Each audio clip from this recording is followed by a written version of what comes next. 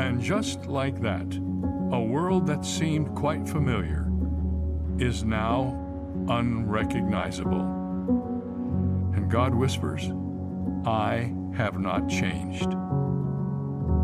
You lament over the life you loved that is now a vague memory.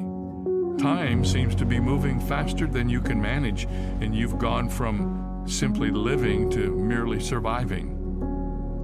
And what was once certain is now, well, uncertain. And God whispers, Trust in me. You face a world that appears to be falling apart.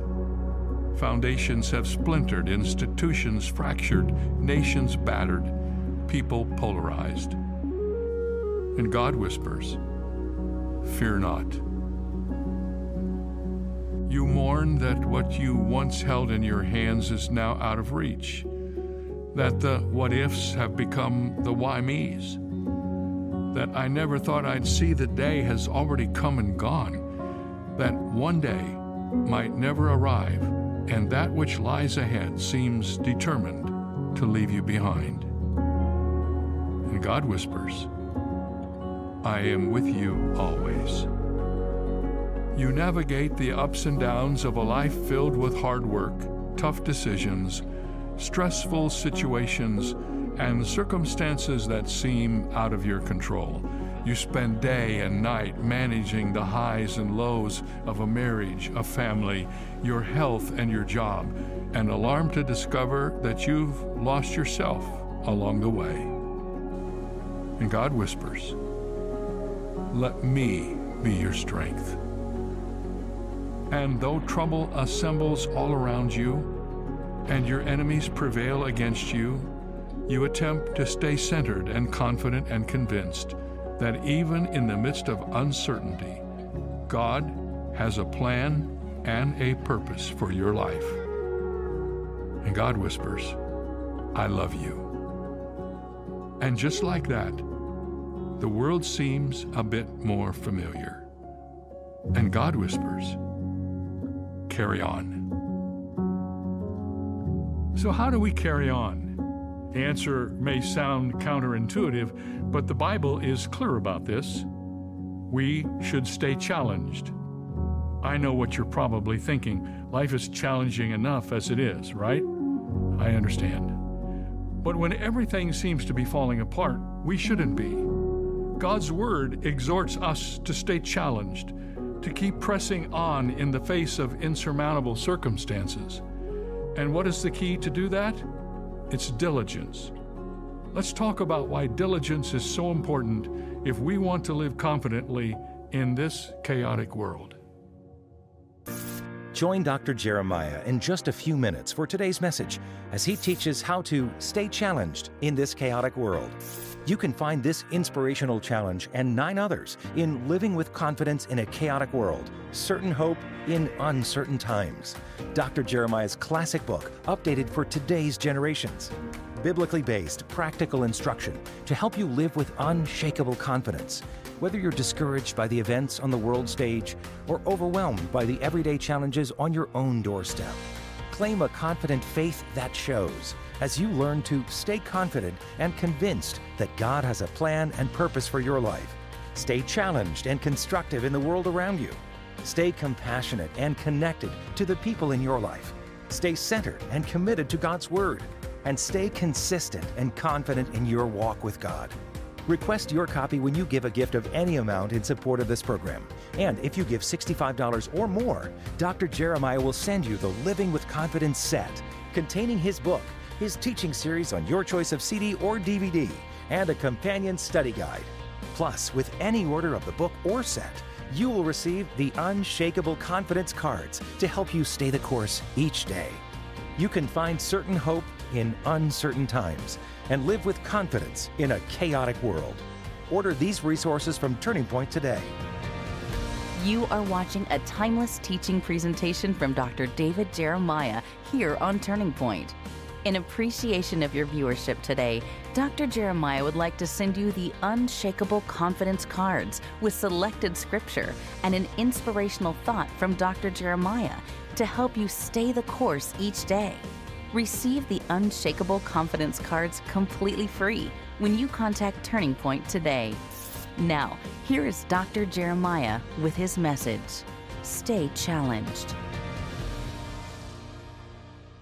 The message that he gives to us in this passage in 2 Peter is the message for this day the importance of staying challenged and staying diligent in what we're doing, not only in life, but especially for Christ in these very uncertain days. You see, our tendency, men and women, is when we come to times like this, is to just back down, to, to, uh, to chill out, if you will, and to say, when this is over, I'll get back to the business of living. But when we do that, we miss the opportunity that God has given us, not only to make a difference in the world where we live, but to make a difference in the world of our own life, to use the challenges to be challenged ourselves. And that's the message I want to share with you today.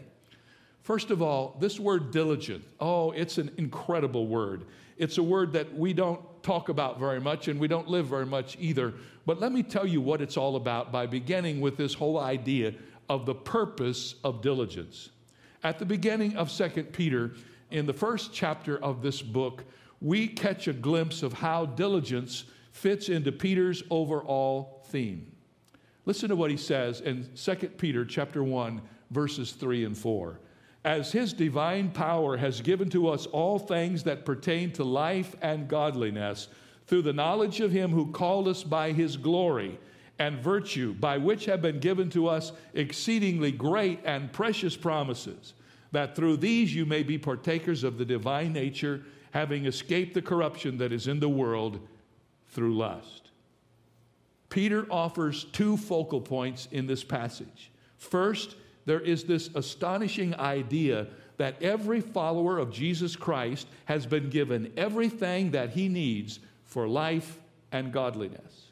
Not some things, not even most things, but everything. Have you ever thought about the fact that as a Christian, you have everything you need? And the second focal point of Peter's message is to tell us where all of that is. This is all we need for life and godliness. These are the precious promises of the Word of God. Here in this book, we have God's wonderful gift to us.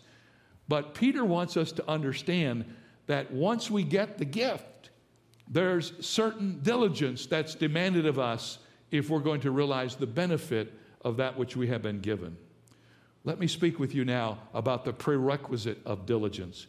Look again in your Bibles, and you'll notice that in this section of Peter, there is a list a list of seven things, things that we're to do, things we're to add. But notice the list begins with one word, and it's the word faith. Faith is always the prerequisite for our diligence. Peter begins right there, telling us in verse 5 what to add to our faith. And the list of add ons follows, but the steam engine that pulls the whole train is faith. Without faith, we're going nowhere. So, the prerequisite for your diligence in your Christian life is you must be a Christian. You must have faith. Faith is the beginning of the process. We accept Christ by faith. We are saved completely by God's grace.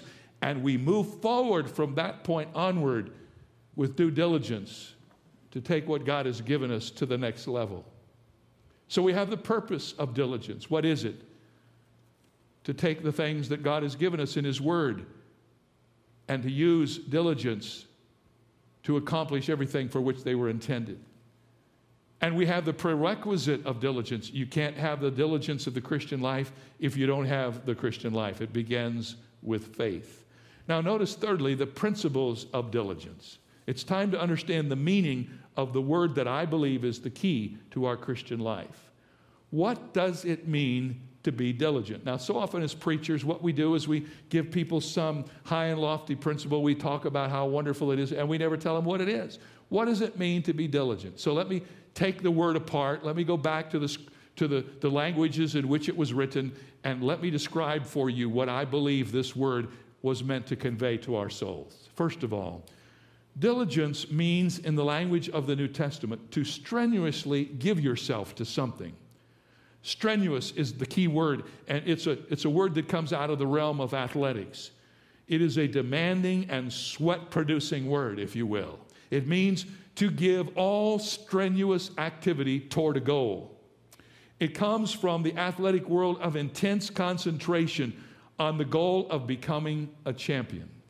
Secondly, the word has another meaning. There's a secondary meaning to the word diligent, and that's the word lavish, to give yourself to something lavishly.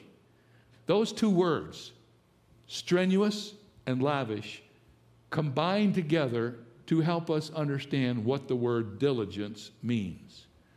So, how do we apply that to our lives as Christians? It's almost so foreign from our actual practice that it's hard to make the application. Could you think for a moment of what would happen if you took all the precious promises, the exceedingly precious promises of this book, which God has given to you so that you can have everything you need for life and godliness? And you took all of those precious promises and with diligence you mind them. What is diligence?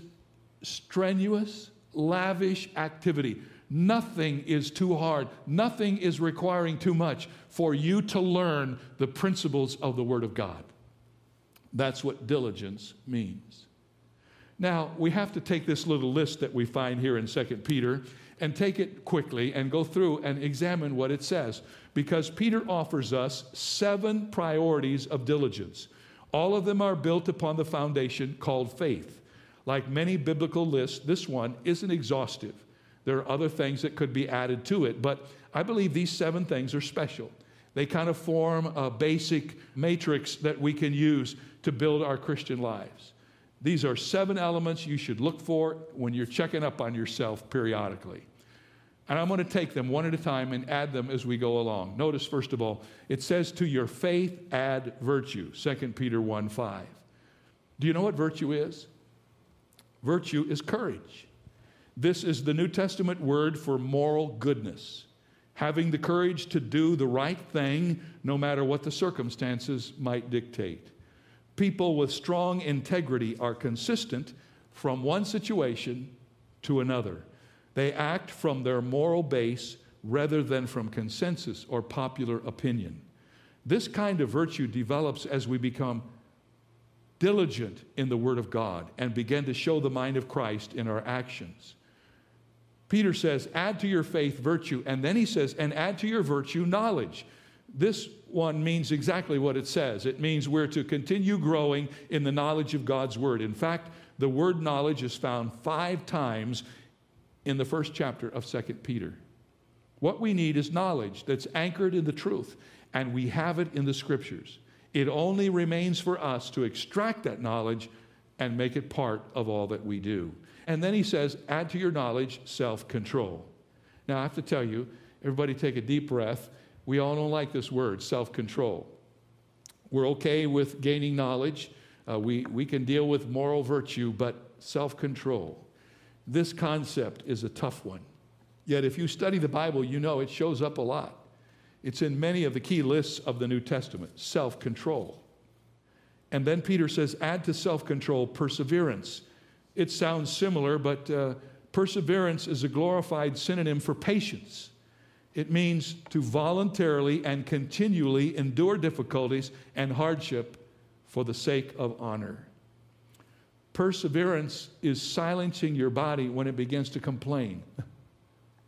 Perseverance is forcing yourself awake to study the Bible in the morning when you know you could use another 15 minutes of sleep. Perseverance is the trademark of every champion you have ever met. Now, notice to perseverance, add godliness. Godliness is a word that means to have reverence and respect for God. We need real godliness all the time, but it is especially necessary in chaotic days like the ones we are currently experiencing. And when I say godliness, I'm not talking about the everyday kind of run of the mill pattern that passes for godliness sometimes. Today, we seem to be presenting our concept of God in a more casual, user friendly way, and I see some dangers there. We want unbelievers to see a positive faith, and that's good. We want them to see a God of love instead of one who is relentlessly angry, and that too is good. But I worry that bit by bit we're losing the concept of His holiness and his majestic, infinite magnitude. Yes, even his judgment of our sin. Our God is an awesome God, a glorious King, and so much more than a grandfather in heaven, which is the way so many paint him these days. I bring this up because the godly Christian is the one who is truly humble before God. We need to stop and quit being frivolous as we talk about the one who is our creator and is the giver of life to us all. That's what it means to be godly. It means to have a reverence for the God we serve. And then finally, uh, and I'm going to add these two together because they're very similar add to your godliness brotherly kindness and love. 2 Peter 1 7 says, To godliness we are to add brotherly kindness, and to brotherly kindness we are to add love. When we practice brotherly kindness and love, we are different than the people around us, and especially is that true now. Uh, I've noticed that as I look around in the culture today, as we're going through these chaotic times, there's a lot of selfishness and there's no looking around for the needs of others. That's exactly opposite from what we are instructed to do in this, in this book we call the Bible. We are to diligently add to our faith virtue. And at the end of our virtue is godliness and brotherly kindness and love. We're to be people who are known by the way we care about others. Let me come to the end of this discussion and make a couple of practical applications that are really important. I want to talk with you about the possibilities of diligence in your life. Peter offers us some pictures of what will happen if we determine, by the grace of God and in the power of the Holy Spirit, that we're going to be diligent in the way we live life. Here are three things that will happen to you if you do it. First of all, in 2 Peter 1 8, we read, For if these things are yours and abound, you will be neither barren nor unfruitful in the knowledge of our Lord Jesus Christ. Number one, if you allow yourself to embrace the diligent life, you will have stability in the way you live. Peter wants us to know that if we pursue God and focus on these qualities, we will begin to see them come together in our lives. Character is the result of persistent action, and a pattern of diligence will lead to stability. But if you will be diligent in these days when you are tested, God will give you some spiritual muscles that will grow on your spiritual frame, and you will discover a kind of inner strength that will take you through things you never believed you could endure and, and give you the opportunity to help others along the way. You will have stability in your Christian life. Secondly, you will have vitality in your Christian life. Vitality is defined as abundant mental and physical energy. And then, thirdly, you will have reality in your Christian life stability, vitality, and reality. Peter says that we will be neither barren nor unfruitful in the knowledge of Jesus. That means we will know his truth deeply and it will bear real fruit all around us. We'll be involved in the real world, connecting the truth of the gospel to the needs of the people that we see. Some people believe that faith is some kind of fantasy world where we escape the problems of the day. But Peter says when we have diligence in developing our walk with Christ, we will become more real than we've ever been before. We won't be escape artists. We will be embrace artists. We will embrace the problems of the world and bring the presence of Jesus right into the center of them which is something we all dream about if we're true Christians. So there are three things that will happen to you if you determine to make diligence a part of your life. L- let me give you three things that will happen to you if you don't. This is no easy in and out message. You don't just come and say, Well, I think I'll do that, and if I don't do that, I'll still be the same. No, having heard these words, you cannot be the same because the Bible tells us that if you embrace diligence in your walk with Christ, here are some things that will happen. And in the same passage, he tells us that if we refuse to take the challenge and live our lives challenged by God's word, there are certain things we can expect to happen. Number one, we will lack spiritual power. Verse 9 of 2 Peter 1 says, For he who lacks these things. Peter speaks of life for those who lack the list he has just given. And he says there are millions of people who profess to be Christians and they manage to avoid going after virtue. They manage to avoid going after knowledge and self control. And you have a reunion with them after 30 years, and what you discover is they haven't changed at all. They're at the same level of spiritual immaturity as they were when you first knew them as Christians. without a diligent walk with Christ, you will end up powerless in your, in your life as a Christian. Number two, you will lack spiritual perception. Interesting, 2 Peter 1 9 says, they will be short sighted even to blindness. Peter speaks of the immature Christian as so short sighted that it's like he's blind. We live in an era in which keen eyes are essential spiritual equipment, and you realize what kind of sight I'm talking about.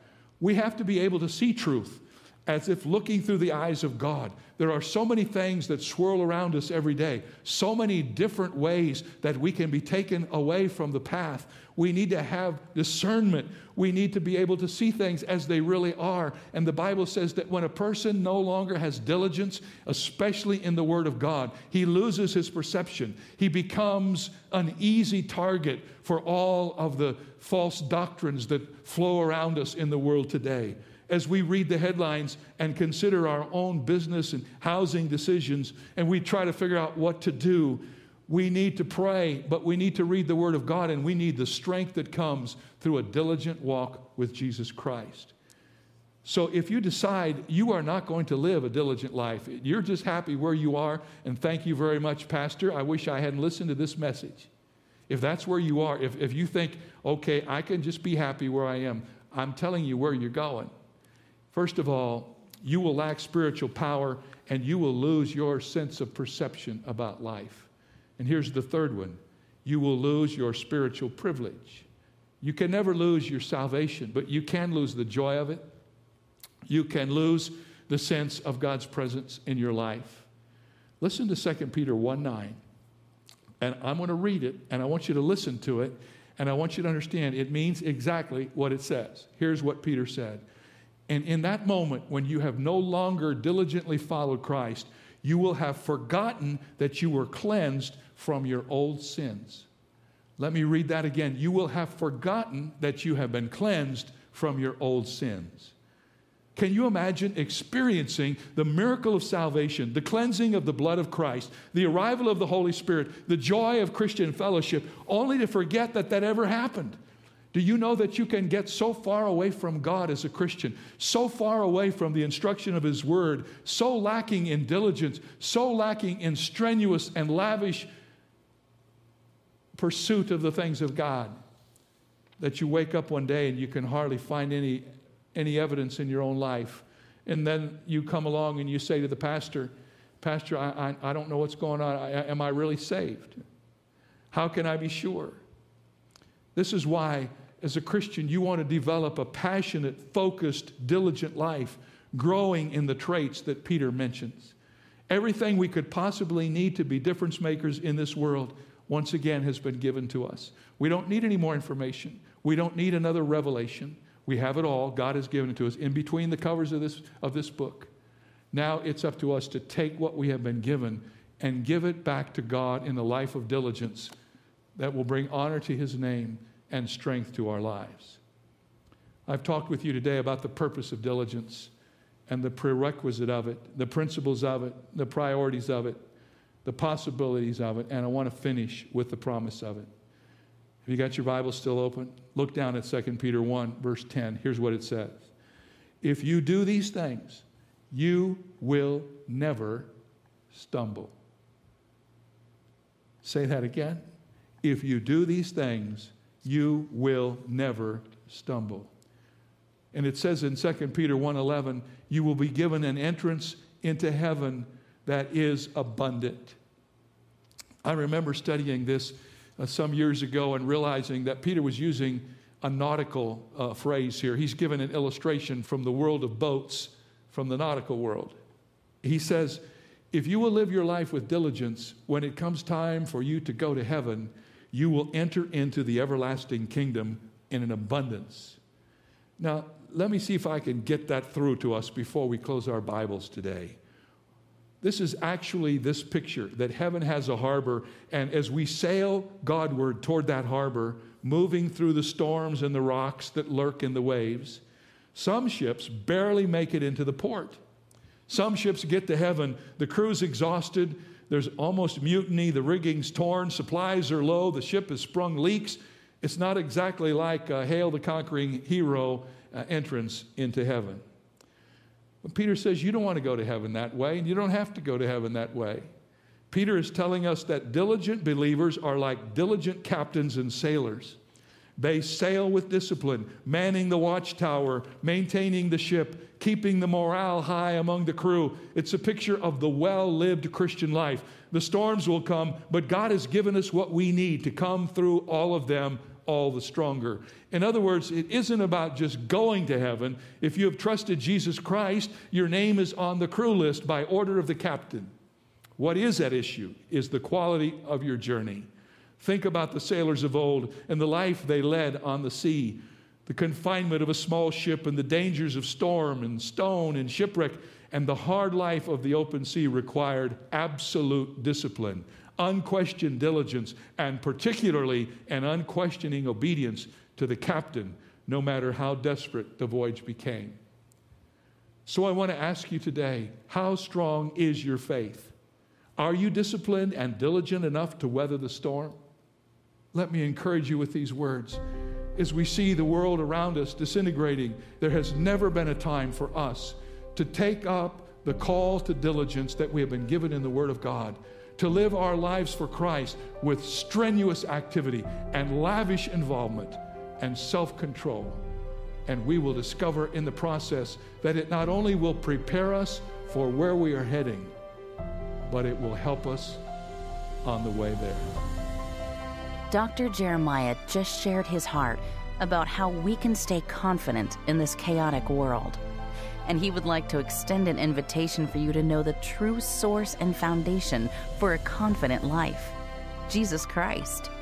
If you would like to know more about how you can begin or grow in your relationship with Jesus, Dr. Jeremiah would like to help by sending you two free resources. The first is a booklet called Your Greatest Turning Point, and the second is our monthly devotional magazine, Turning Points. These resources are yours completely free when you contact Turning Point today. Thank you for watching Turning Point. When you support this program with a gift of any amount, Dr. Jeremiah will send you in appreciation his book, Living with Confidence in a Chaotic World Certain Hope for Uncertain Times. And for a generous gift of 65